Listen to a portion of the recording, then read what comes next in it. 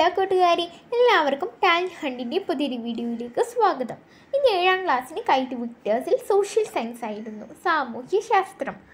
മാഷി എന്ന പുതിയൊരു പാഠം എടുത്തു chapter seven earth and biosphere ഭൂമിയും ജീവലോകവും. കൂട്ടുകാരി നമ്മുടെ പാഠം ആരംഭിക്കുന്ന ആദ്യ പേജിൽ തന്നെ ഒരു പാരഗ്രാഫ് നൽകിയിട്ടുണ്ട്. നമുക്കതൊന്ന് വായിച്ചു നോക്കിയാലോ. These incident took place about 4,500 million years ago. A part of the sun got separated and exploded. The resultant pieces of the explosion became eight planets, including the Earth and their satellites. Due to the continuous boiling, heavier materials were concentrated around the center of the Earth, and lighter materials got themselves arranged above this layer. The gases that emanated gradually formed an outer layer enveloping the Earth. This process continued for millions of years. Still, the Earth's surface remained very hot.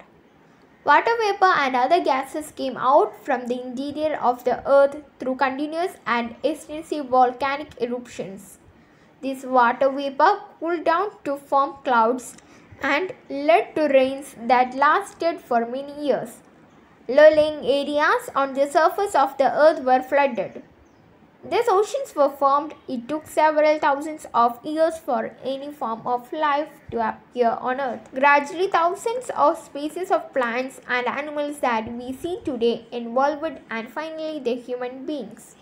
ഏതാണ്ട് നാനൂറ്റി അൻപത് കോടി വർഷങ്ങൾക്ക് മുൻപായിരുന്നു ആ സംഭവം സൂര്യന്റെ ഒരു ഭാഗം അടർന്നു മാറി അത് പൊട്ടിത്തെറിച്ചുണ്ടായ കഷ്ണങ്ങൾ ഭൂമി ഉൾപ്പെടെയുള്ള എട്ടു ഗ്രഹങ്ങളും അവയുടെ ഉപഗ്രഹങ്ങളുമായി തീർന്നു. നിരന്തരമായി നടന്ന തിളച്ചുമറിയലിലൂടെ ഭാരമുള്ള വസ്തുക്കളൊക്കെ ഭൂമിയുടെ കേന്ദ്രത്തിലേക്കും ഭാരം കുറഞ്ഞ വസ്തുക്കൾ മുകളിലേക്കുമായി ക്രമീകരിക്കപ്പെട്ടു. പുറത്തേക്ക് വന്ന വാതകങ്ങൾ ഭൂമിയുടെ ആവരണമായി മാറി. ദശലക്ഷക്കണക്കിന് വർഷങ്ങളോളം ഈ പ്രക്രിയ തുടർന്നു കൊണ്ടേയിരുന്നു അപ്പോഴും ചുട്ടുപഴുത്ത അവസ്ഥയിലായിരുന്നു ഭൗമോപരിതലം. നിരന്തരവും വ്യാപകവുമായി ഉണ്ടായ അഗ്നിപർവത സ്ഫോടനങ്ങളിലൂടെ ഭൂമിയുടെ ഉള്ളിലെ നീരാവിയും വാതകങ്ങളും പുറത്തേക്ക് വന്നു. ഈ നീരാവി തണുത്ത മേഘങ്ങളും തുടർന്ന് വർഷങ്ങളോളം നീണ്ട മഴയും ഉണ്ടായി. ഭൗമോപരിതലത്തിലെ താഴ്ന്ന പ്രദേശങ്ങളൊക്കെ വെള്ളത്തിനടിയിലായി. അങ്ങനെ സമുദ്രങ്ങൾ ഉണ്ടായി. ഭൂമിയിൽ ജീവന്റെ തുടിപ്പുകൾ രൂപം കൊള്ളുന്നതിന് പിന്നെയും ലക്ഷക്കണക്കിന് വർഷങ്ങൾ വേണ്ടി വന്നു. ഒടുവിൽ നാം ഇന്ന് കാണുന്ന തരത്തിൽ ജീവൻ സസ്യങ്ങളുടെയും ജന്തുക്കളുടെയും ആയിരക്കണക്കിന് ഇനങ്ങളായി പരിണമിച്ചു. ഒടുവിൽ മനുഷ്യനും. കൂട്ടുകാരി നമുക്ക് ഈ പാഠത്തിൽ പഠിക്കാനുള്ളത് ലിത്തോസ്ഫിയറിനെ കുറിച്ചും അറ്റ്മോസ്ഫിയറിനെ കുറിച്ചും ഹൈഡ്രോസ്ഫിയറിനെ കുറിച്ചും ബയോസ്ഫിയറിനെ കുറിച്ചും എല്ലാമാണ്. ആദ്യം തന്നെ കൂട്ടുകാരെ നമുക്ക് ലിത്തോസ്ഫിയർ ശിലാമണ്ഡലം എന്താണെന്ന് നോക്കാം. Huge mountains, broad plateaus expansive plains coastal areas, deserts, islands, and various landforms under oceans. Earth's surface is very much diverse. This solid portion of the earth, which contains all the landforms, rocks, and soil, is called the lithosphere.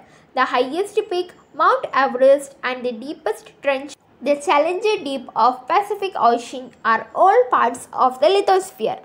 പടുകൂറ്റൻ പർവ്വതങ്ങൾ വിസ്തൃതമായ പീഠഭൂമികൾ വിശാലമായ സമതലങ്ങൾ തീരപ്രദേശങ്ങൾ മരുഭൂമികൾ ദ്വീപുകൾ സമുദ്രത്തിനടിയിലെ വിവിധ ഭൂരൂപങ്ങൾ അങ്ങനെ എത്രമാത്രം വൈവിധ്യമാർന്നതാണ് ഭൂമിയുടെ ഉപരിതലം.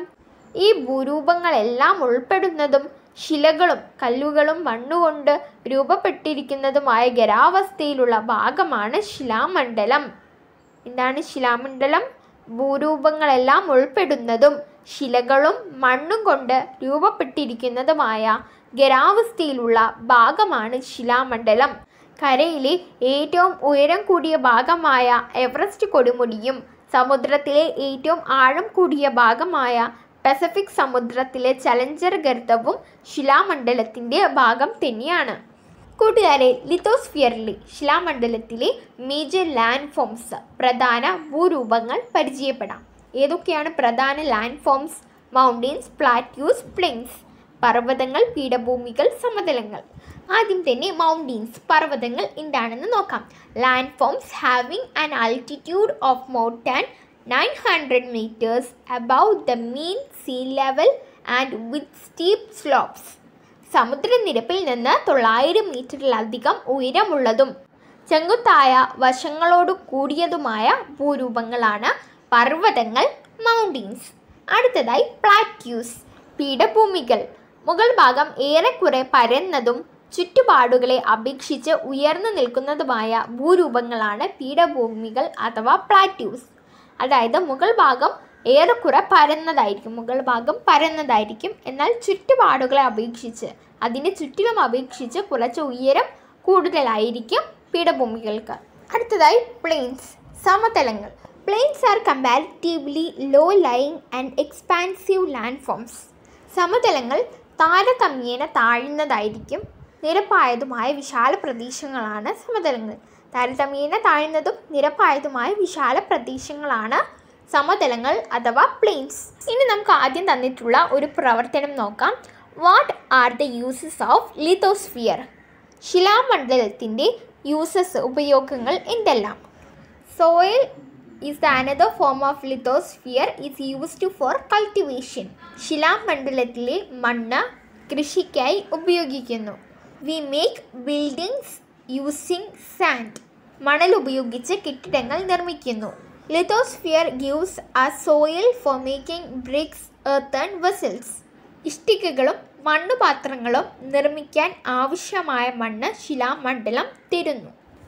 We also get marble and coal from the lithosphere മാർബിളും കൽക്കരിയും നമുക്ക് ശിലാമണ്ഡലത്തിൽ നിന്ന് ലഭിക്കുന്നു. അടുത്തൊരു ആക്ടിവിറ്റി നോക്കൂ.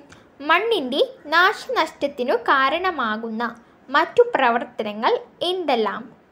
What are the activities that destroy soil ഒന്ന് ഡിഫോറസ്റ്റേഷൻ വനനശീകരണം. കൂട്ടുകാർ പറയൂ മണ്ണിന്റെ നാശനഷ്ടത്തിന് കാരണമാകുന്ന പ്രവർത്തനങ്ങൾ എന്തൊക്കെയാണ്? വയൽ നികത്തൽ. ഡിക്ലാമേഷൻ ഓഫ് പാഡി ഫീൽഡ്സ് മണൽ വാരൽ സാൻഡ് മൈനിങ് കുന്നിടിക്കൽ ഡിസ്ട്രക്ഷൻ ഓഫ് ഹിൽസ്. അവസാനമായി അൺസയന്റിഫിക് മെത്തേഡ് ഓഫ് ഫാമിംഗ് അശാസ്ത്രീയമായ കൃഷിരീതികൾ കൂട്ടുകാരി മാഷി ഒരു ആക്ടിവിറ്റിയും കൂടി തന്നിട്ടുണ്ടായിരുന്നു. മണ്ണ് സംരക്ഷണത്തെക്കുറിച്ച് കൂടുതൽ കാര്യങ്ങൾ അറിയാൻ കൃഷി ഓഫീസറോട് ചോദിക്കാനുള്ള അഞ്ച് ചോദ്യങ്ങൾ തയ്യാറാക്കുക. അല്ലേ? ആദ്യം നമുക്ക് എന്ത് ചോദിക്കാം? ഹൗ ഈ സോയിൽ ഫോംഡ് മണ്ണ് എങ്ങനെയാണ് രൂപം കൊള്ളുന്നത്? അടുത്ത ചോദ്യമായി നമുക്ക് എന്ത് ചോദിക്കാം? Which are the different types of soil വിവിധ തരം മണ്ണുകൾ ഏതൊക്കെയാണ്?